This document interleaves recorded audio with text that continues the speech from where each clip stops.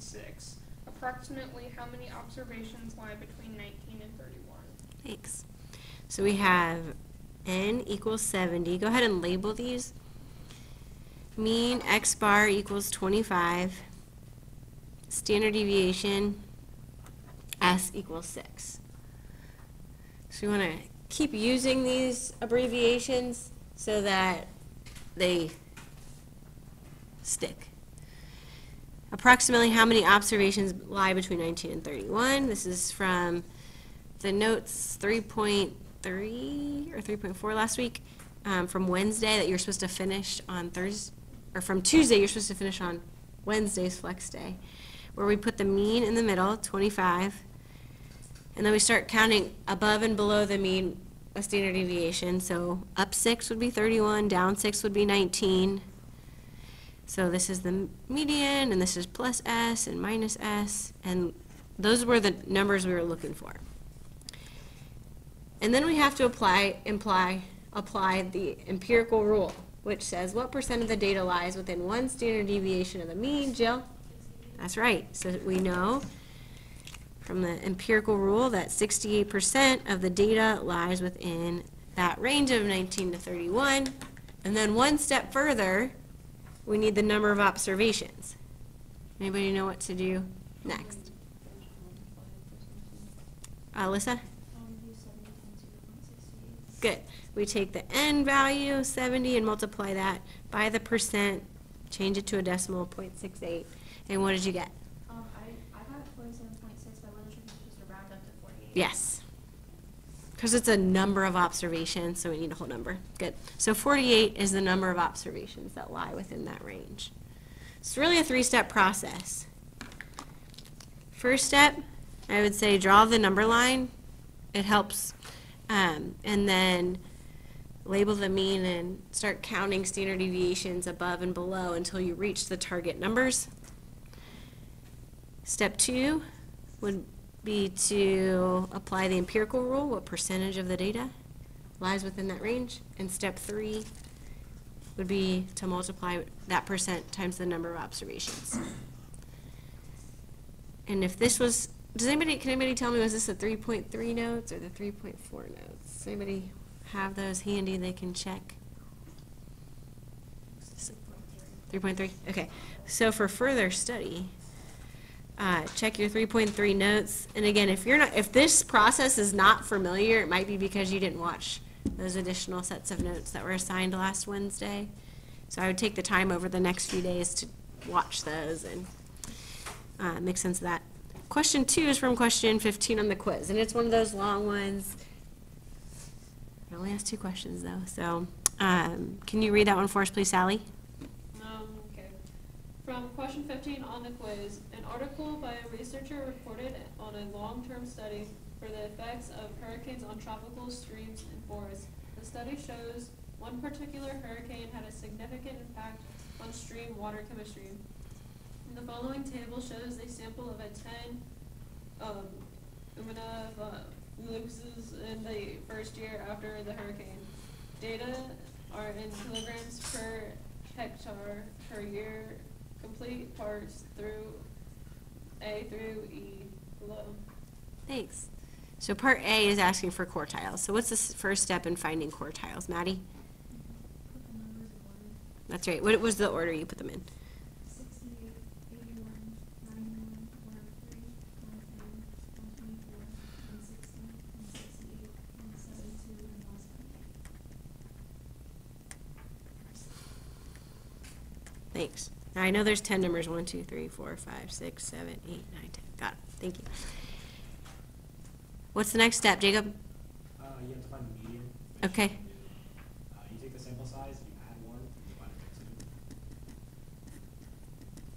Get the left, so you uh, get five point five, so if you count five in.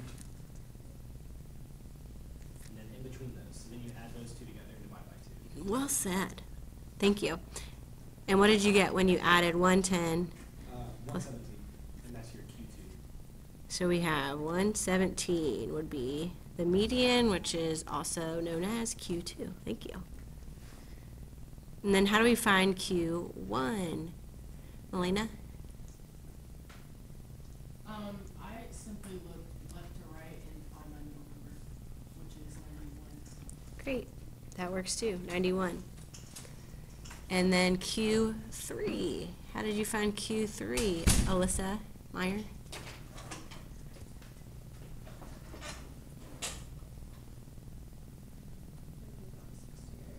It is, right there in the middle, so it's the median of the upper half of the data set. One sixty-eight. Done. Now I need to interpret what just happened. I always like a visual, so I'm going to draw a sketch of the box and whisker plot. So quartile 1, quartile 2, quartile 3, max and min, as long as max and min are not outliers, right? What percentage of the data, Orion, is between the minimum and quartile 1?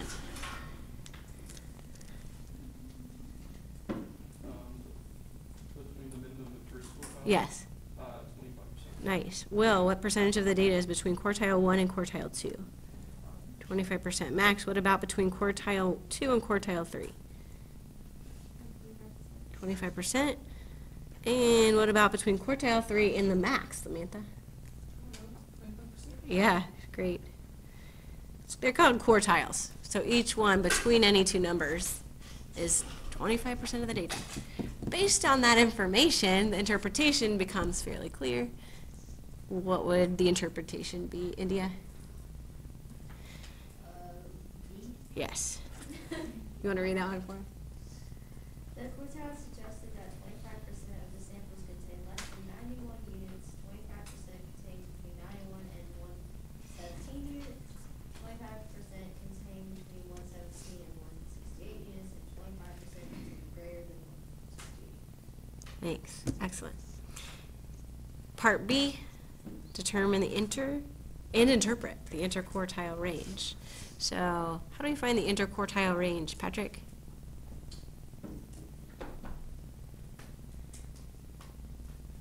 Ninety-one to one sixty-eight? That's right. And what do you get when you subtract those two numbers? Get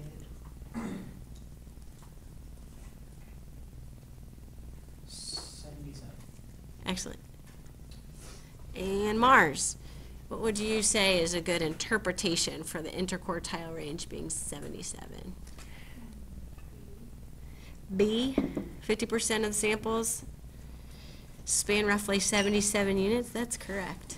Nicely done.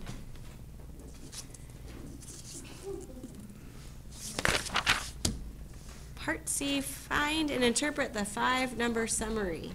Jariah.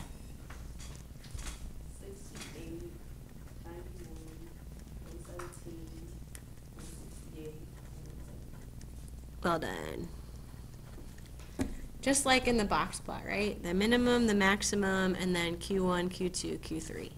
Make sure you're getting this down on your opener. There's a chance I'll be letting you use your openers and notes on your test on Monday. Did I already say that? There is. Interpret the five-number summary, choose the correct answer below. This one I think was the hardest one. Uh, Jacob, what did you say for this one? Um, I, s- I picked D, the middle fifty percent has the greatest variation, uh, because the inner quartile is the middle fifty, which seventy-seven. Uh-huh. Um, and then it says the first quartile has the next largest, which is sixty-eight to ninety-one, I don't know what that is. And then the last quarter is the least, which is one sixty-eight to one seventy-eight. Which is 10, yeah. So it's just these, looking at the differences between those values. We notice this one's the biggest, and then the next variation is 23, then 10. Well done. D is the correct answer. And then part D, identify potential outliers. Were you raising your hand? Okay, go ahead. Um, the way to find outliers is to use the IQR, Uh-huh. um, and then times one point five, or, uh, times negative one point five. Okay. Um, but also just looking at the data as well, knowing that IQR, which is seventy-seven, see that it's not, it doesn't have any outliers. One point five times seventy-seven is gonna be a negative. If we subtract it from Q one, it's gonna be far outside the range if we add it. So that's good. If you have some good number sense, you can kind of just estimate in your head like that. But let's just, to verify and practice with this formula, Q one is ninety-one. And we're gonna subtract one point five times seventy-seven. And when we do that, we get, who got it? Anybody? Mars? Did you get? so You can calculate it, calculators are back there if you wanna borrow one.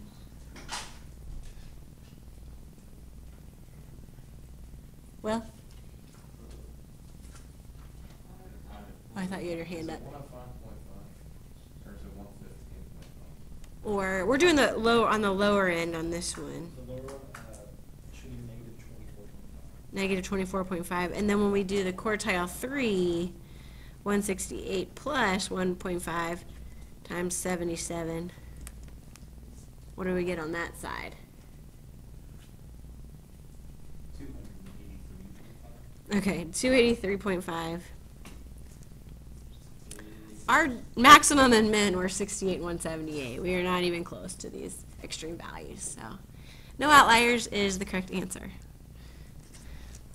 Well done.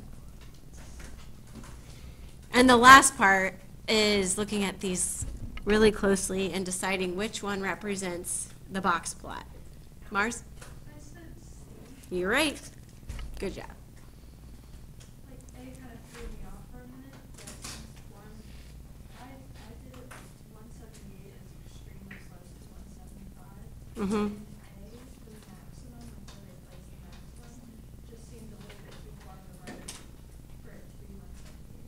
Okay. If you look, at the minimums as well, yeah. That's what. I think B was, was clearly, like, that looks like a hundred is the median, so I kind of eliminated B first. And then, yeah, if you look at these minimum values, this looks really close to fifty, but it should be sixty-eight, so, sixty, yeah. That's how I, good. All the things. And I zoom in, and you just have to, you have to estimate, because there's no unit marks on there. Um, Any additional questions from the quiz?